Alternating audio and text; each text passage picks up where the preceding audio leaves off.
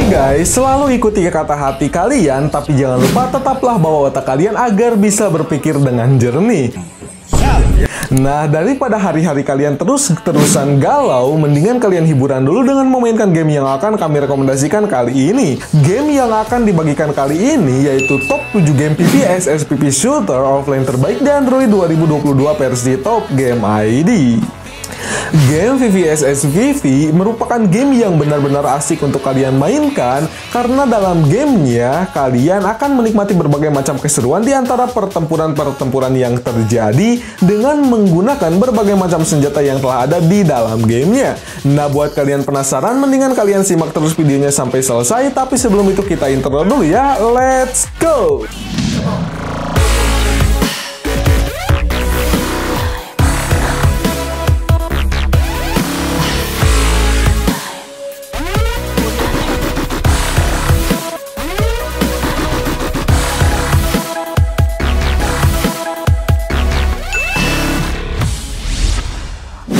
Of Duty Road to Victory. Jika kalian berpikir kalian itu kecil untuk membuat perbedaan, cobalah tidur dengan nyamuk. Baru kalian tahu kan segede apa? Dah, masukin. Eh, ente kadang-kadang ente. Udah deh, mendingan kalian hiburan dulu dengan memainkan game yang satu ini di perangkat kalian masing-masing. Karena game ini merupakan game first person shooter yang paling fenomenal yang dirilis pada tahun 2007. Wow, sangat lama ya guys.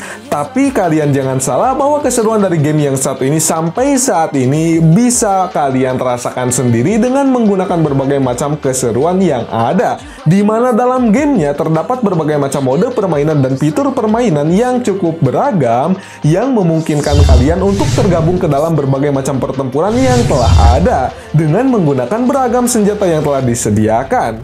Nah guys, dalam game yang saat ini juga tersedia berbagai macam musuh yang dilengkapi dengan berbagai macam alutsista yang bisa menghagagalkan ataupun menghancurkan misi-misi kalian sendiri. Nah guys, saat ini gamenya bisa kalian mainkan dengan mudah di perangkat Android dengan menggunakan bantuan emulator VVS SPP. So, kalian tertarik untuk memainkan game yang satu ini?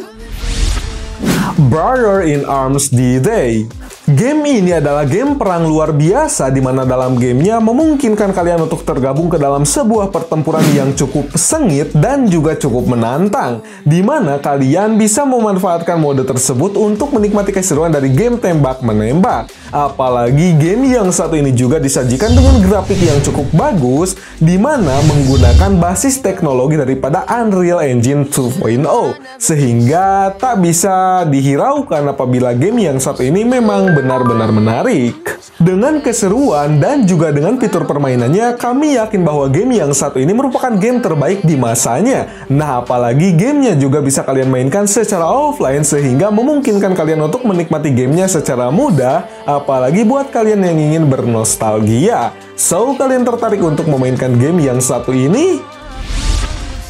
Tom Clancy Ghost Recon Predator adalah game penembak taktis yang cukup menarik untuk dimainkan di mana game yang satu ini dirilis oleh Ubisoft Entertainment pada perangkat PlayStation Portable pada tahun 2010 di mana game yang satu ini menyajikan berbagai macam pilihan daripada ketiga regu tentara yang bisa kalian pilih untuk kalian kendalikan di mana mereka semua akan tergabung ke dalam satu pertempuran yang cukup luar biasa yang bisa kalian ikuti dari awal sampai akhir permainan.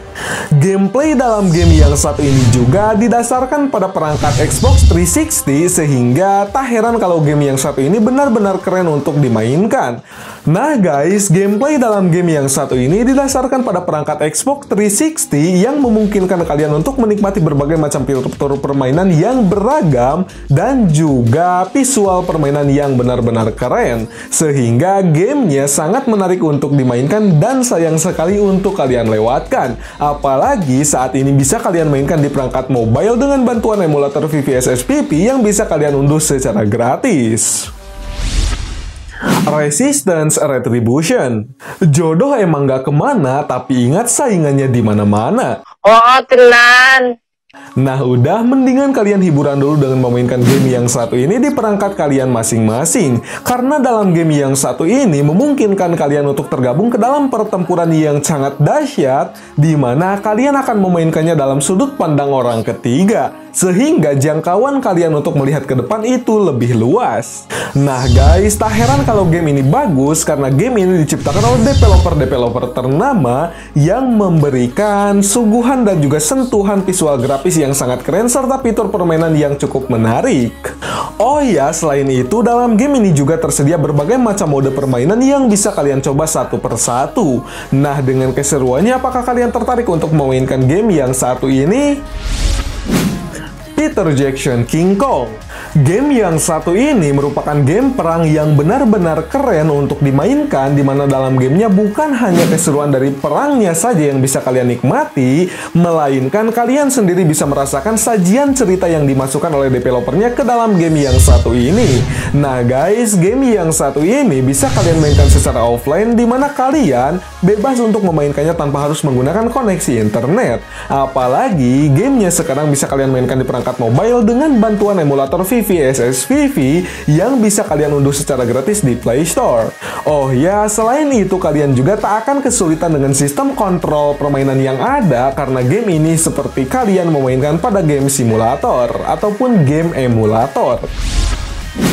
Dead to Riker Reckoning adalah game menembak yang dirilis oleh Rebellions Development dan diterbitkan oleh Namco pada tahun 2005 di Amerika Utara dan pada tahun 2006 di Eropa di mana game ini sendiri merupakan angsuran ketiga daripada game Dead to Right. Game yang satu ini adalah game dari perkembangan daripada game-game sebelumnya yang menambahkan keseruan dan fitur-fitur permainan yang cukup beragam yang lainnya. Oh ya, dalam game yang satu ini juga grafisnya sendiri bisa memanjakan kalian yang memainkan gamenya, serta kalian akan menikmati berbagai macam tantangan dan juga tugas yang diberikan ketika mencoba game yang satu ini di perangkat kalian masing-masing. Ghost in the Cell. Eh guys, iyakah kalau cantik itu relatif tergantung intensitas cahaya dan letak kameranya? Nah udah daripada ribet mikirinya, mendingan kalian nikmati saja keseruan dari game yang satu ini. Karena game ini merupakan game tembak-menembak yang benar-benar seru untuk dimainkan. Di mana dalam gamenya memberikan pengalaman kepada kalian semua untuk menikmati berbagai macam senjata yang ada guna membunuh setiap musuh yang menghadapi kalian. Kalian bisa mencoba berbagai macam keseruan yang ada dalam game ini hanya dengan memiliki game ini dengan size permainan yang cukup ringan, yakni hanya 606 MB saja. Serta gamenya tentu bisa kalian mainkan secara offline, sehingga benar-benar seru untuk kalian coba dan kalian mainkan di perangkat kalian masing-masing. Nah, dengan keseruannya apakah kalian tidak tertarik untuk memainkan game yang satu ini?